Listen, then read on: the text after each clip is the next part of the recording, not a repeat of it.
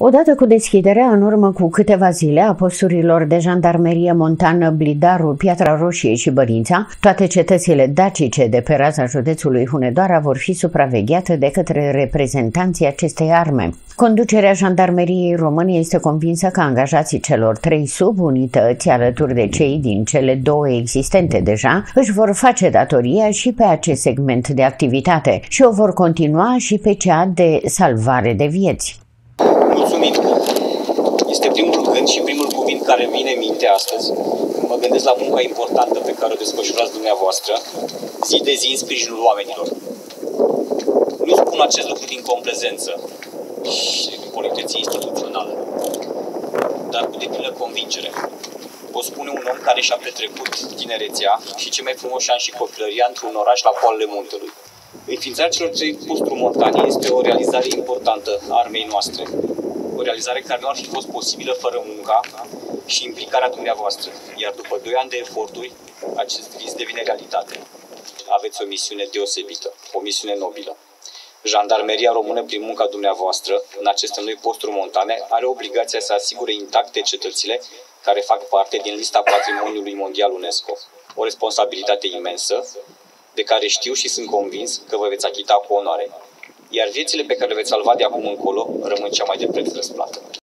Jandarmii de la postul montan Blidaru, unde a avut loc ceremonia de operaționalizare, dar și cei din celelalte subunități de la cetățile dacice, nu doar că le vor supraveghea pe acestea, dar vor interveni și pe traseele omologate de salvamont. În plus, asigură ordinea publică în acele zone și au competențe și în combaterea unor eventuale infracțiuni din domeniul silvic, cinegetic sau piscicol.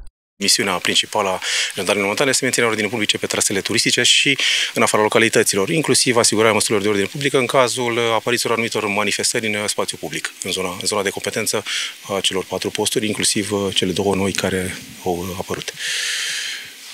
În restul, sprijinul turiștilor principal, pentru că asta este iarăși una dintre menirea jandarmului montan, să venim în sprijinul turiștilor, susțiți în zonă, să informăm, să-i atenționăm în caz de pericole, să-i ajutăm, bineînțeles, să-i sprijinim în cazul orice, orice alte situații apărute. Bineînțeles, prevenirea și combaterea faptelor antisociale, atât pe linie silvică, cinegetică, piscicol și tot ceea ce înseamnă fapte, fapte antisociale în, în rest. Menținerea, menținerea o să se facă pe, uh, pe trasele turistice și variantele de patrulare adiacente, uh, inclusiv pe trasele omologate de salvământ. Reprezentanții Inspectoratului de Jandarm Județean Hunedoara au reamintit că zona cetăților dacice va fi supravegheată nu doar terestru, ci și aerian, transmițând și un avertisment dur către cei care vin cu alte scopuri în aceste situri istorice. Alături de celelalte două posturi, Sarmizegetuza Regia și Costești, toată salva de cetăți dacice din patrimoniul UNESCO beneficiază de măsuri de ordine cu efective de jandarmi.